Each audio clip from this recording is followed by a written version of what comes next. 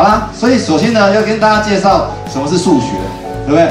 数学这两个字呢，基本上如果对我来看的话，就是从数字开始学起，哦，就是从数字开始学起的这五个字。所以你把数学这两个字倒过来呢，哦，它就会变成学数。OK，所以从数字学什么呢？我们还是学数字。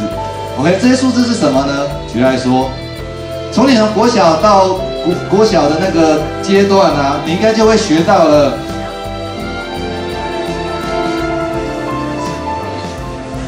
封面声越来越大，对不对？那个从你国小的数字，你就会学到以下这件事情。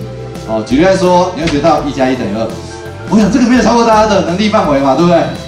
OK 吧，对不对？好，那再来呢？不久之前呢，我有曾经看到类似像这样一段，就是有人在问，在网络上问说，要怎么发挥一加一大于二的功能？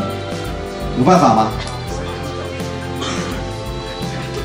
那就有人说，我们偏好用乘号啊。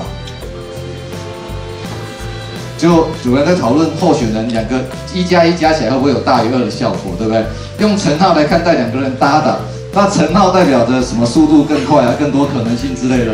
这个基本上身为 身为数学老师，我一定要纠正他一下，因为身为数学老师，一乘一等于一是小于一加一的，OK 吗？所以知道让专业的来一下哦，来专业的来一下，告诉你什么呢？就是你看一加一等于二，对不对？所以，如果你要让它超过二，基本上呢，你需要干这些事情，就是你想要发挥大于二的功能，你就必须先累积经验，哦，啊，改变你自己。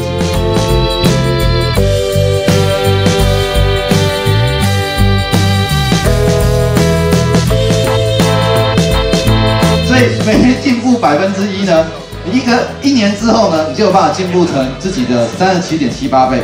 OK，这个呢，基本上呢。想用什么东西来证明给大家看呢？附属应用程式小算盘够了哦，对不对？小算盘还不能用最边最基础的阳词，还要用工程型的，对不对？哦，所以如果你不相信呢，你就把一点零一啊，哦，勇敢的把它三百六十五次方，三六五，OK，这时候啊，你就会算出三十七点七八三四三四三四之类的。所以如果你每天进步百分之一，好。哦，真的，你可以在一年之后成长为自己的三十七倍，OK。所以因此，如果你每每天退步百分之一呢，哦，一年后呢，就会只剩下自己只自己只剩下百分之二点五五左右。